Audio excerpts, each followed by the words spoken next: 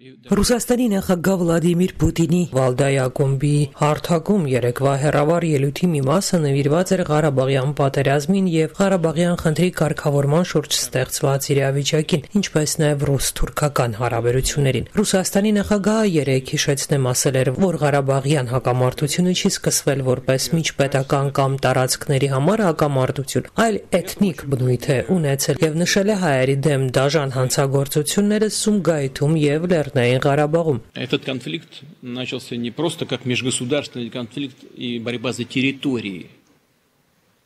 Он начался с этнического э, противоборства. Э, и э, это тоже, к сожалению, это факт. Когда, когда в Сумгаите, а потом и в Нагорном Карабахе были осуществлены жестокие преступления против армянского народа։ Միևնույն ժամանակ Պուտինը նաև ասել էր երեք, թե այն իրավիճակը, որի պարագայում Ադրբեջանի տարածքի զգալի մասը կորցվել է, չի կարող երկար շարունակվել։ Мы понимаем, что такая ситуация, при которой значительная часть территории Азербайджана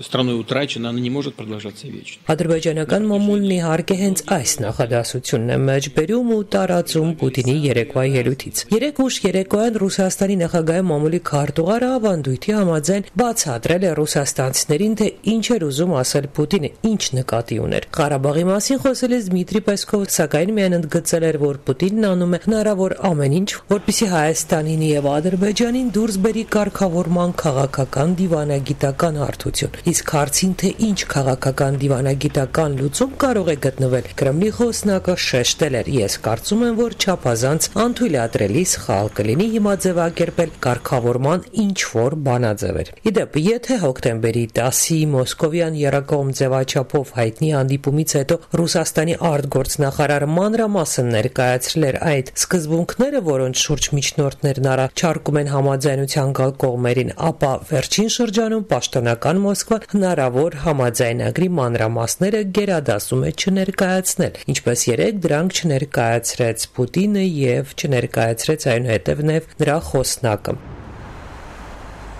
Այստեղ Մոսկվայում Ղարաբաղյան պատերազմի շուրջ քննարկումները վերջին օրերին ընթանում են երկու հիմնական խնդրի շուրջ՝ ինչ անել Թուրքիայի հետ եւ արդյոք Ռուսաստանը պետք է խաղաղապահներ կամ զինվորականներ ուղարկի Ղարաբաղ։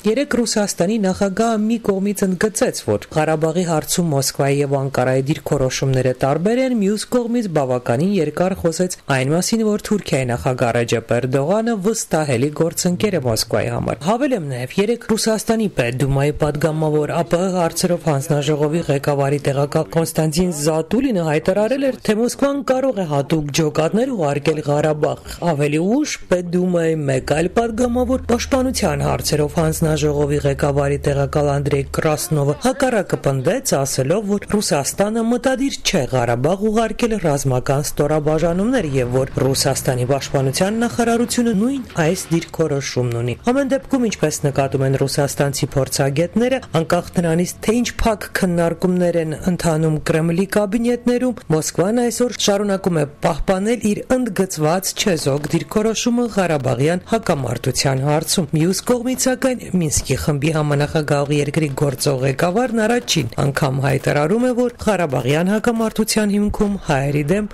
դաժան հանցագործություններն են։